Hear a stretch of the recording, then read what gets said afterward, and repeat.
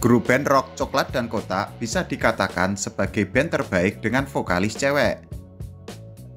Perjalanan Kotak dan Coklat di industri musik Indonesia juga hampir mirip karena mereka pernah dilanda masalah yang sangat berat. Lantas, siapa yang lebih hebat antara Coklat dan Kotak?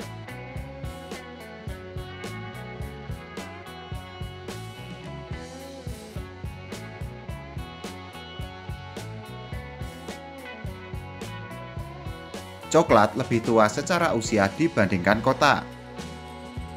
Kikan Coklat dan kawan-kawan membentuk band di Bandung pada tahun 1996 silam. Itu artinya Coklat sudah mewarnai industri musik Indonesia selama 28 tahun. Coklat juga sudah mengeluarkan 6 album studio. Selain itu, Coklat mempunyai 7 album kompilasi. Kikan dan kawan-kawan juga sudah mengeluarkan banyak lagu yang sangat hits. Beberapa lagu coklat yang sangat meledak di industri musik Indonesia antara lain Bendera, Karma, dan Garuda. Meskipun demikian, coklat pernah dilanda masalah yang sangat besar ketika Kikan keluar pada tahun 2010 silam. Kehilangan Kikan membuat coklat seolah tidak punya nyawa lagi. Walaupun sudah menunjuk Sarah Haju sebagai vokalis, Coklat sudah tidak seperti dulu lagi. Saat itu, Kikan keluar karena jenuh dan bosan lantaran konser Coklat sangat padat. Selain itu, salah satu penyanyi terbaik Indonesia tersebut juga sedang mempunyai anak yang masih kecil. Kikan pun akhirnya memilih keluarga dibandingkan band yang sudah membesarkan namanya.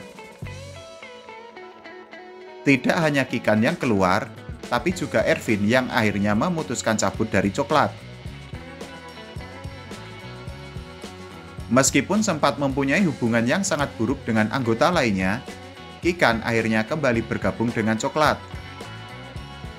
Band Bandung tersebut resmi reuni pada tahun 2022 silam. Sementara itu, Kotak dibentuk dari ajang Dream Band pada tahun 2004 silam. Saat itu, Kotak masih diperkuat Posan Tobing sebagai drummer dan Pare sebagai vokalis. Namun, Pare memutuskan keluar dari Kotak pada tahun 2007. Keputusan Pare juga diikuti Ices yang juga cabut. Keduanya digantikan Tantri sebagai vokalis dan Cua sebagai basis. Sedangkan Posan Tobing keluar dari kotak pada tahun 2011. Sampai saat ini, Kotak sudah mengeluarkan 8 album studio. Tantri Kotak dan kawan-kawan juga mengeluarkan banyak single. Lagu Kotak yang sangat familiar di telinga masyarakat antara lain pelan-pelan saja. Namun, Kotak sempat dilanda konflik ketika Tantri hendak keluar karena jenuh dan berantem dengan Cela Kotak pada tahun 2018 silam. Selain itu, Kotak juga disomasi Posan Tobing soal royalti lagu. Sampai saat ini, urusan Kotak dan Posan Tobing belum selesai juga. Nah, kalau menurut kalian, siapakah yang lebih hebat antara Kotak dan Coklat di industri musik Indonesia? Tulis komentar kalian dan jangan lupa like, share, serta subscribe channel YouTube Kresuan Musik agar ke depannya kualitasnya semakin baik ya.